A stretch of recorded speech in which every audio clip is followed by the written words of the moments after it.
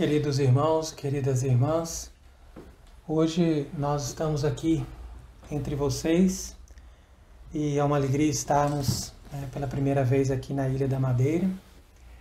E foi nos pedido também para nós falarmos um pouco sobre essa questão desse próximo consistório que será feito por Francisco e que está trazendo muita polêmica porque as pessoas estão percebendo que ele está escolhendo os piores para serem cardeais.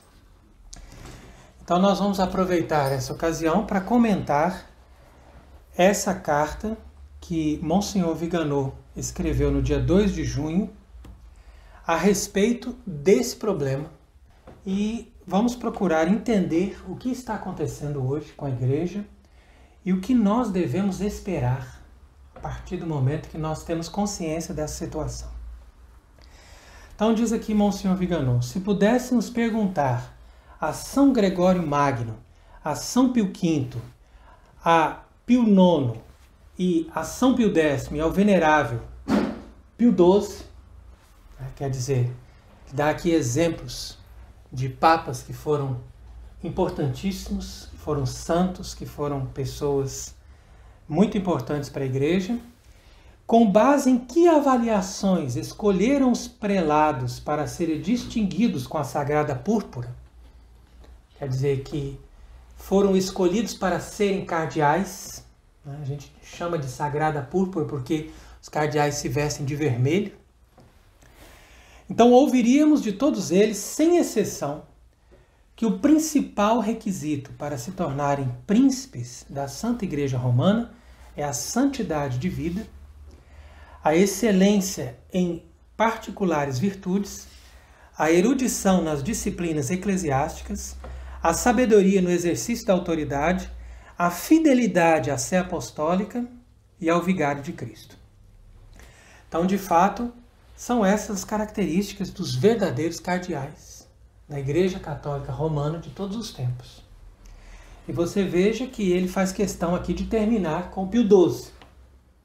Então, Monsenhor Viganot, pelo menos de uma forma discreta, ele mostra aqui para todas as pessoas verem claramente que a partir da morte de Pio XII é que vai existir essa ruptura, que vai existir esse grave problema que começa a se manifestar a partir dali, 1958, e que vai chegar ao seu vértice nos dias de hoje, quando nós percebemos que todos esses planos dos inimigos da igreja e todos esses projetos que eles tinham desde muito tempo para serem aplicados no sentido da destruição do catolicismo estão hoje perfeitamente na agenda diária dessas pessoas que se apresentam como autoridades eclesiásticas. Então veja o que diz aqui também Monsenhor Viganot. Muitos dos cardeais criados por esses pontífices tornaram-se papas por sua vez, ou seja, aqueles pontífices antigos, né, que eram verdadeiros papas da Igreja Católica, eles criaram cardeais. Esse é o termo, porque um cardeal não é ordenado. Quando nós temos as ordenações, ou seja, o rito do sacramento da ordem, então você ordena um diácono, você ordena um padre e você ordena um bispo. A partir daí, depois que ele já é bispo, então ele recebe dignidades eclesiásticas. Então quer dizer que ele sobe de cargo dentro de uma hierarquia, mas ele não tem uma ordenação maior do que o outro. Em termos do poder sacerdotal, ele chega na plenitude desse poder sacerdotal como bispo. Entretanto, quando ele chega a cardeal, ele não está sendo algo mais do que um bispo do ponto de vista da sua dignidade sacerdotal.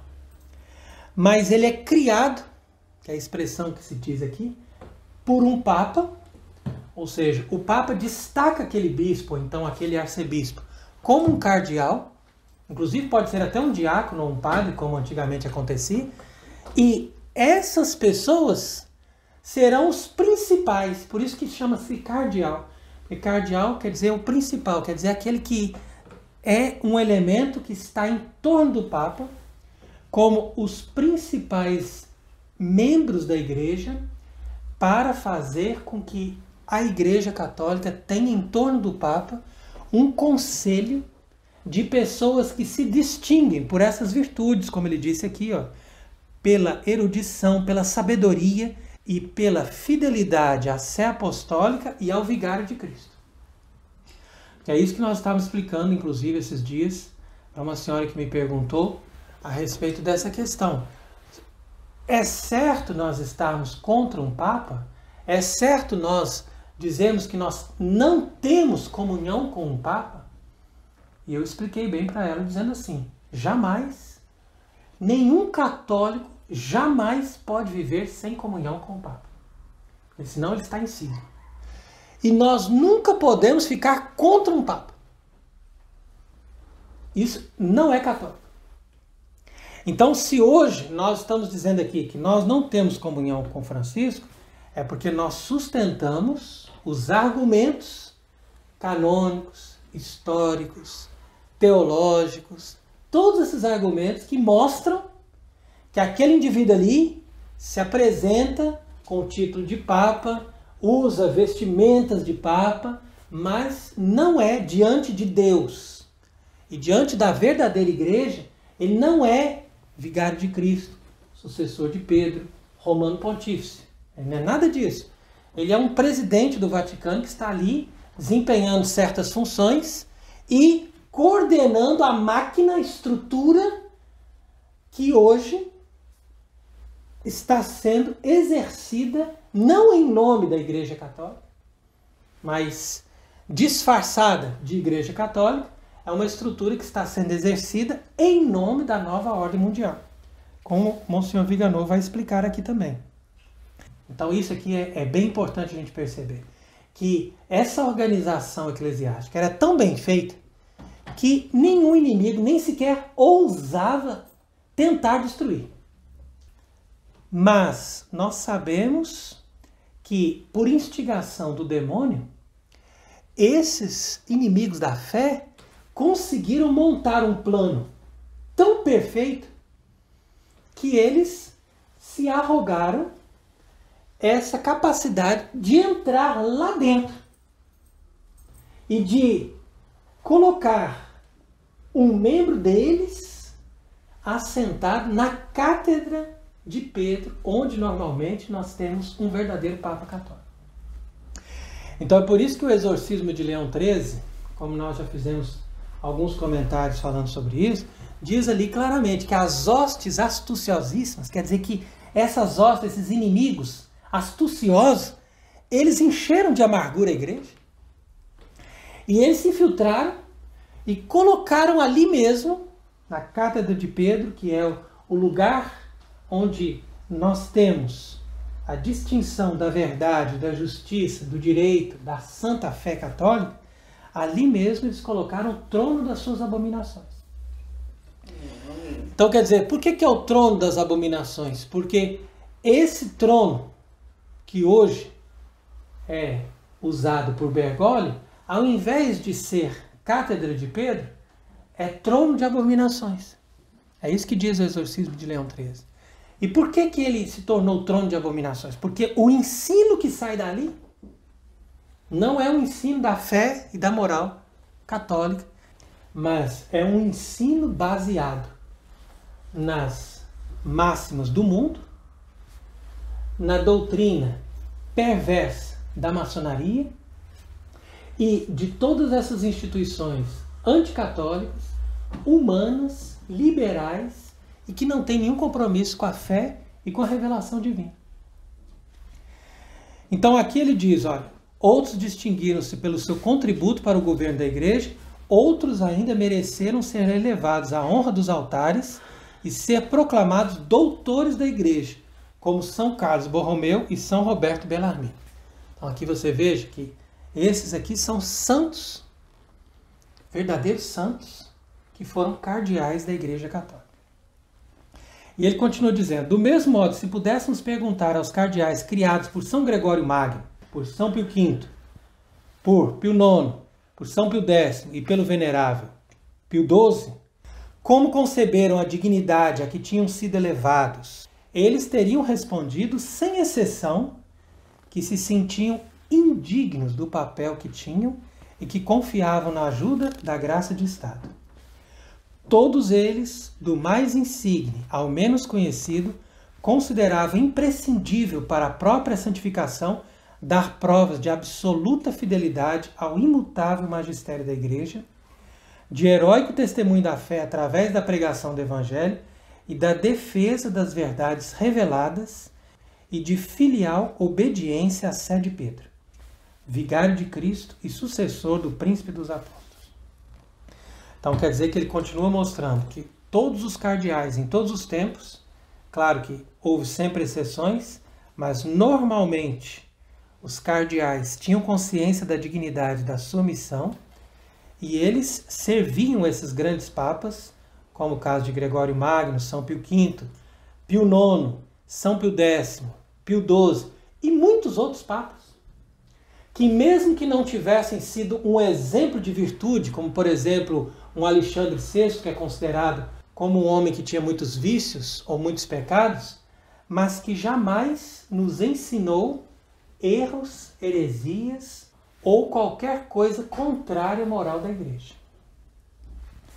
Então diz aqui ainda: quem hoje colocasse essas questões àquele que está sentado no sólio e àqueles a quem ele elevou a púrpura, descobriria com grande escândalo que a nomeação cardinalícia é considerada em pé de igualdade com qualquer outro encargo de prestígio de uma instituição civil e que não são as virtudes necessárias para aquele cargo que levam a escolher este ou aquele candidato, mas o seu nível de corruptibilidade, de chantagem, de pertença a esta ou aquela corrente. E o mesmo, e talvez pior, aconteceria ao assumir que, como nas coisas de Deus, os seus ministros deveriam ser exemplo de santidade, assim como nas coisas de César, os governantes deveriam ser guiados pelas virtudes de governo e movidos pelo bem comum. Então quer dizer que aqui Monsenhor Viganô está mostrando que nas coisas referentes a Deus, os ministros devem dar o exemplo da santidade. E nas coisas referentes ao governo das instituições humanas, eles têm que pelo menos ser guiados pelas virtudes básicas de honestidade, de justiça. Né? Mas isso não acontece mais hoje em dia. Então a pergunta que nós fazemos é essa: o que está acontecendo no nosso tempo? Né? O, que, o que está levando o mundo a entrar nesse nível tão grande de corrupção? Fazer com que as pessoas não tenham mais esperança naquilo que elas veem hoje, né, em termos de instituição. E se tem esperança, muitas vezes elas são seduzidas por ilusões e elas não conseguem perceber a realidade. Então veja que os cardeais nomeados pela Igreja Bergoliana são perfeitamente coerentes com aquela Deep Church da qual são expressão. Então essa frase aqui realmente é muito importante porque ele está falando de uma Deep Church, quer dizer o seguinte: é uma igreja subterrânea. Então a gente faz uma fachada ali de igreja católica, mas por baixo existe ali muito dinheiro, muita corrupção, muitos interesses, e é ali que eles vão levar essa igreja subterrânea para atingir os seus interesses. Então, ao invés de você ter uma igreja católica romana, você tem uma igreja bergoliana, em torno de Bergoglio. Porque Bergoglio hoje se tornou o chefe de uma seita. E essa seita internacional, ela se torna tanto mais perigosa quanto mais poderosa. Porque ela assume o poder de uma igreja católica de dois mil anos e utiliza isso para os princípios falsos e anticatólicos. Então você veja o prejuízo de tudo isso. Né? Tal como os ministros e os funcionários do Estado são escolhidos e nomeados pelo Deep State. É aquilo que nós estávamos conversando ontem com uma pessoa que estava comentando conosco, que a república ela sempre tende ao socialismo e o socialismo sempre tende ao comunismo. E isso eles fazem de uma forma pragmática, porque não é possível você ter uma democracia que defenda os princípios. Isso é utopia completa. os princípios verdadeiros só podem ser defendidos desde que você tenha uma oligarquia, ou seja, um grupo separado de pessoas que pensam, que conhecem os princípios e que dirigem. E essas pessoas, se eles estiverem com o bem, se estiverem regidos pela graça de Deus, obviamente, eles vão levar a sociedade realmente para o bem comum. Agora, nós fomos seduzidos desde a época da Revolução de imaginar que o povo tem poder e que o povo vai decidir aquilo que é o melhor para o seu próprio bem. E hoje nós vemos que tudo isso não passa de uma ilusão. Que, sob o pretexto de fazer o bem para o povo, eles estão escravizando as pessoas, tornando as pessoas objeto. E cada vez mais as pessoas, as pessoas estão morrendo, como se fosse bicho. E ninguém está preocupado. Por quê? Porque nós não podemos nem sequer nos manifestar. A pouca liberdade que nos sobra para falar alguma coisa já é extremamente vigiada. Então é por isso que ele diz assim: e isso acontece por causa da crise de autoridade que assistimos desde séculos. E especialmente há 60 anos na igreja que está na metástase desse câncer. Então, Monsenhor Viganot ele insiste nessa comparação que o Vaticano II é um câncer.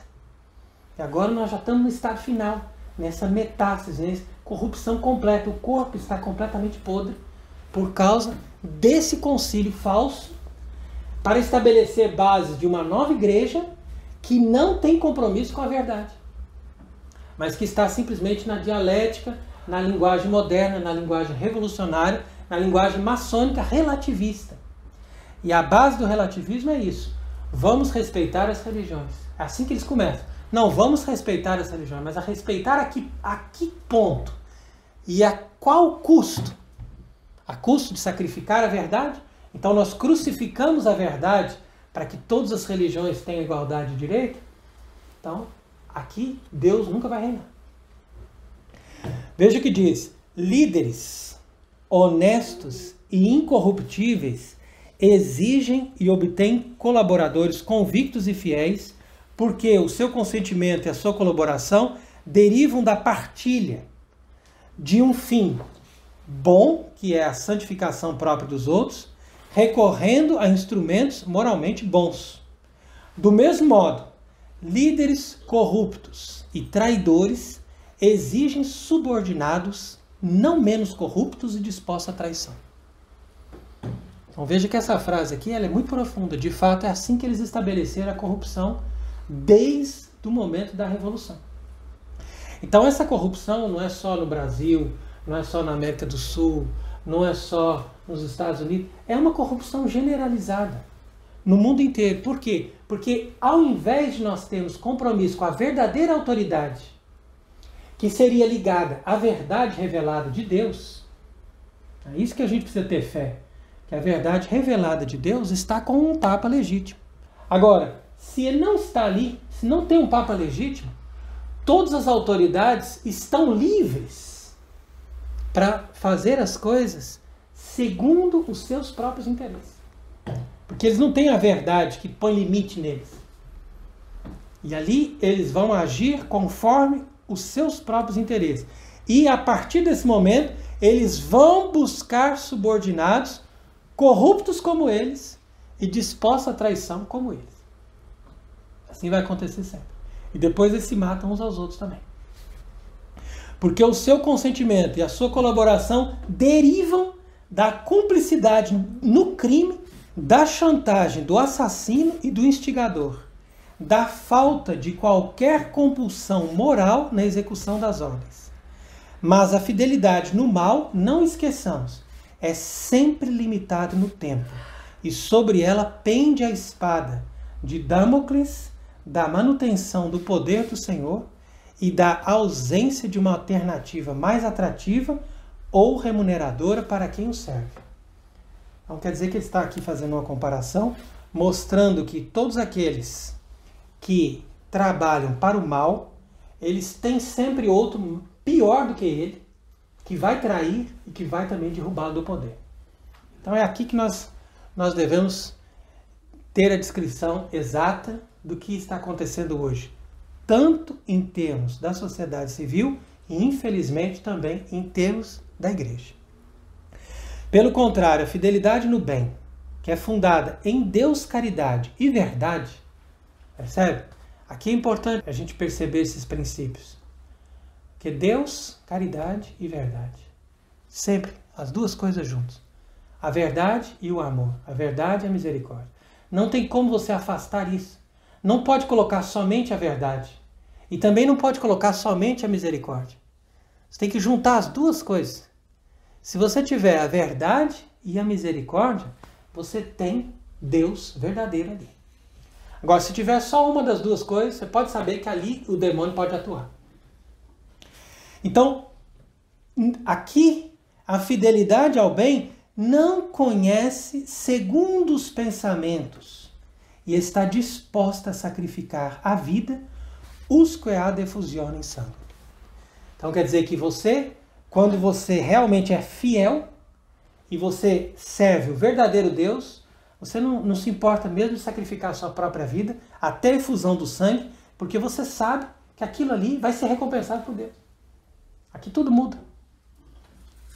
Então por isso que diz, por aquela autoridade espiritual ou temporal que é vigária da autoridade de nosso Senhor, Rei e Sumo Sacerdote. Então essa carta realmente muito bem escrita, porque ele vai mostrando esses dois poderes que andam sempre juntos: o poder temporal e o poder espiritual. As pessoas não podem desprezar nem o poder temporal nem o poder espiritual. Eu não posso, por exemplo, ser anarquista por quê? Porque eu tenho que considerar que é necessário para a sociedade o poder temporal.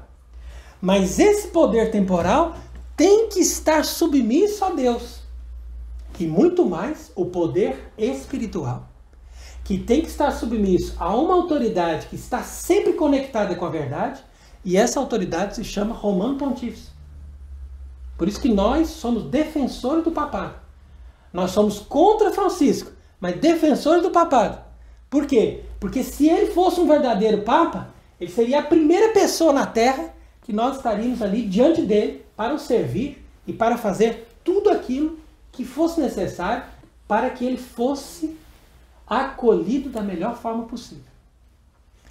Mas, na medida em que ele não está ligado a esses princípios, nós temos a convicção de que ele também não goza desses privilégios que Deus dá para um verdadeiro pontífice. Que quando uma pessoa se torna papa, ou seja, entra no pontificado conforme Cristo deixou, então essa pessoa, a partir do momento que ele se torna verdadeiro papa, ele tem essa assistência divina. E quando essa pessoa não tem, você já sabe que não é papa. É bem simples. Ela vai contra tudo que, é, que Deus deixou e que os outros papas deixaram, vai contra. Então, se ela faz isso, é um sinal, aqui já fica claro, que essa pessoa não é sucessor dos verdadeiros papas. Mas é um impostor, é um mercenário, que não entra pela porta, ele entra por trás, para roubar e matar. Então a gente tem que fugir dele. Por isso que diz, ó, esse é o martírio simbolizado pela veste cardinalícia. Então, o cardeal se veste de vermelho porque ele está disposto a derramar o sangue pela igreja e pelo Papa. Claro, defendendo a verdade. Não é por causa que ele está querendo bajular o seu superior, mas é porque ele sabe que aquele verdadeiro Papa, sendo defensor da verdade, é alguém que merece a nossa total adesão. Então, por isso que os cardeais, né, com a veste cardinalices, utilizam essa batina vermelha, que é extremamente bonita, porque mostra a grandeza da dignidade e da honra do cardinalato, que faz com que eles também tenham que corresponder dando a vida pela, pela igreja. Mas na medida que eles estão comprometidos com a corrupção, então tanto eles quanto os bispos do mundo inteiro que os acompanham e que também são promovidos nesta politicagem maligna, então toda essa gente não passa desse corpo místico, dessa Babilônia que invadiu a estrutura da Igreja Católica e que está muito bem descrito no Apocalipse, com vestes de púrpura e de escarlate. Então por isso que ele diz aqui, ó, esta será também a condenação daqueles que profanam essa veste de cardeais, acreditando-se protegidos pelas muralhas leoninas. Quer dizer que é aquela proteção ali da, da, da residência dos cardeais. Não surpreende, pois, que uma autoridade que se funda na chantagem se rodeie de pessoas chantageadas. Então aqui ele está falando de Francisco. Nem que um poder exercido em nome de um lobby subversivo queira assegurar a continuidade na linha adotada, impedindo que o próximo conclave eleja um papa e não um vendedor de vacinas ou um propagandista da nova ordem mundial. Então aqui ele está falando claramente contra essa politicagem de Bergoglio, que segundo as informações que nós temos, com esse próximo conclave, ele vai ter feito mais de 80 cardeais. E ele só precisaria, na próxima eleição, de 88 para fazer um próximo Papa. Então, independente dele renunciar ao falso pontificado dele, ou dele simplesmente morrer, como todos vão morrer de qualquer forma, na medida em que atinge uma certa idade e a pessoa tem as suas limitações de saúde. Então, de uma forma ou de outra, nós nos aproximamos de um conclave. Qual é a perspectiva desse conclave eleger um papa verdadeiro? Nenhuma. Nenhuma. Por quê? Porque todo o colégio desses cardeais que já são ilegítimos está baseado nessas pessoas aqui. A grande maioria são pessoas que têm esse mesmo pensamento e que fazem parte desse lobby subversivo, que é o lobby gay. Se eles não são homossexuais, eles promovem o homossexualismo. E isso faz parte da agenda, faz parte da bandeira. Essa é a principal força de batalha deles. Porque você sabe que alguém que é homossexual, ele luta até o fim por promover aqueles que também são. Então continua aqui Monsenhor Viganor. Pergunto-me, todavia, qual dos eminentíssimos que pontilham as crônicas da imprensa com seus apelidos pitorescos e com o peso de escândalos financeiros e sexuais, hoje estaria disposto a dar a vida não digo pelo seu senhor, ou seja, por Bergoglio, que está ali em Santa Marta, mas por nosso Senhor Jesus Cristo, assumindo que não o substituíram, entretanto, pela Pachamama.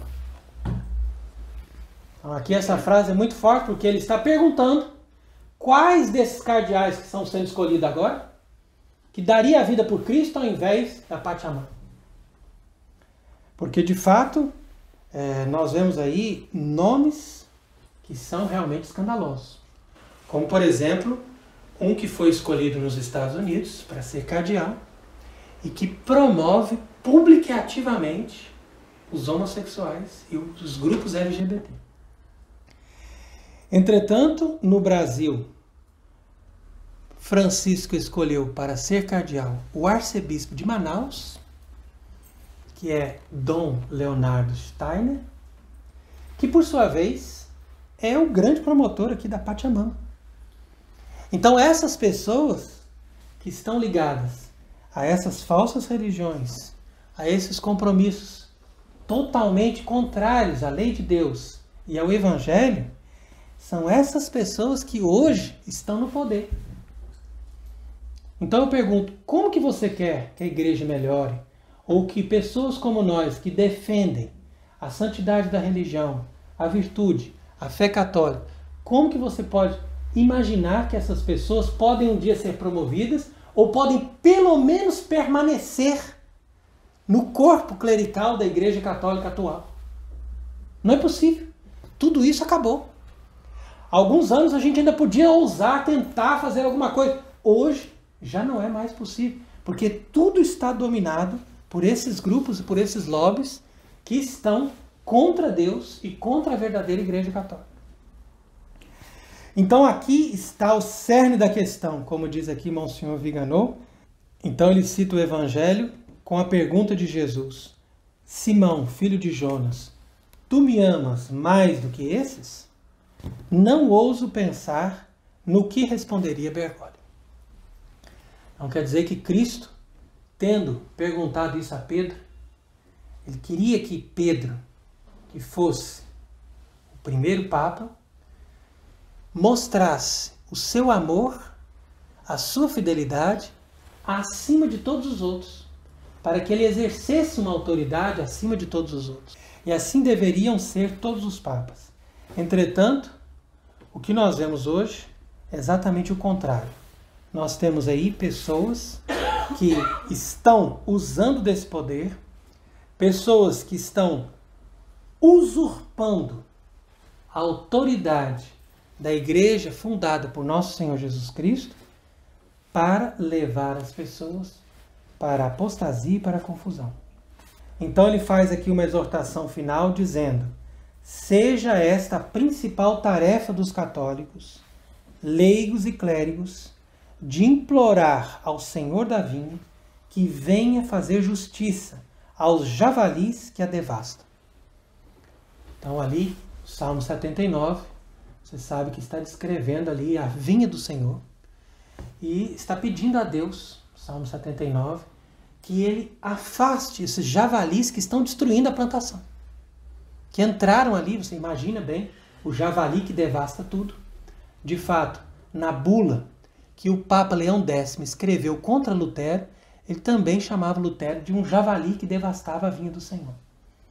Então, Francisco, com todos esses que propuseram o Vaticano II e que propuseram a missa nova e a nova religião que foi criada a partir de então, eles se tornaram outros luteros e outros discípulos do protestantismo, só que vestidos de cardeais, vestidos de bispos ou vestidos até mesmo de papa. Então, se Lutero foi facilmente identificado como javali, porque ele não era nenhuma dignidade dentro da igreja, agora as pessoas que não têm capacidade de ver além das aparências não conseguem discernir a situação porque eles veem somente as aparências. Ah, não, ele está vestido de papa, ele é papa. Está vestido de cardeal, ele é cardeal. E se o poder civil diz que ele é cardeal ou que ele é papa, nós temos que acatar. Ah, não. Eu tenho que saber primeiro que esse poder civil é corrompido.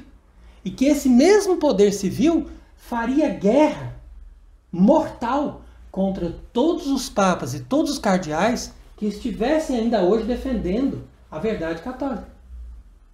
Mas, uma vez que todos eles estão juntos nesse projeto da nova ordem mundial, então é claro que todos eles estão juntos também, se legitimando uns aos outros e dando um para o outro o poder que eles querem. Mas eu digo, Poder e dinheiro eles podem ter, mas Deus eles não têm. Poder e dinheiro eles podem ostentar, mas a verdade está longe deles. E o poder e o dinheiro pode estar com eles hoje, mas depois da morte eles não têm nada. Então é por isso que é importante ler, ó, até que esta seita de corruptos e fornicadores seja expulsa do templo.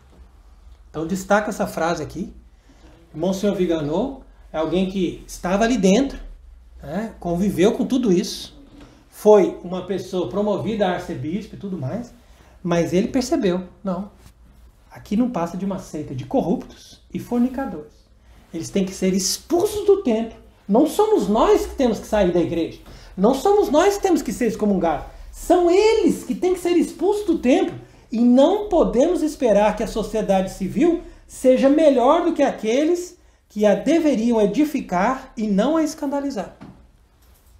Então quer dizer o seguinte, que a consciência da nossa vinculação à Igreja Católica é que vai expulsar esses vendilhões do tempo. Por quê? Porque quando nós somos verdadeiros defensores da fé e quando nós reconhecemos todos os dogmas, inclusive o dogma da infalibilidade papal, a nossa recusa a legitimar essas falsas autoridades vai um dia expulsá-los. Mas se nós dizemos simplesmente não tem o que fazer, eles são autoridades e nós temos que se submeter a eles, então é claro que eles vão reinar tranquilamente.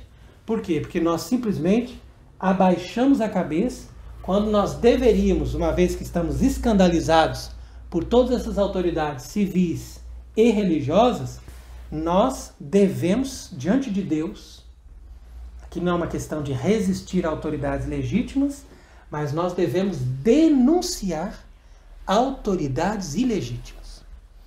Por quê? Porque não há legitimidade numa autoridade religiosa que não leva a fé católica que foi promulgada por todos os papas de todos os tempos. E não há também legitimidade numa autoridade civil se ela não leva o mínimo compromisso com a ética, com o verdadeiro Deus, com a verdadeira religião e com os princípios da moral e da sociedade. Então eu deixo aqui a cada um essa reflexão para que nós, além da nossa oração, além da nossa atitude de devoção e de amor a Deus, possamos também despertar a consciência das pessoas para uma verdadeira busca desses valores perdidos. E que o Senhor da vinha, como diz aqui Monsenhor Viganot, se digne acolher as nossas preces para que ele venha logo fazer justiça e destruir esses javalis que estão devastando a vinha do Senhor e que assim ele nos traga novamente a verdade, a paz e a caridade de uma verdadeira sociedade cristã e de uma verdadeira Igreja Católica que possam nos dar um mundo verdadeiramente justo e verdadeiramente conforme a vontade de Deus. Que Deus seja bendito para sempre. Amém.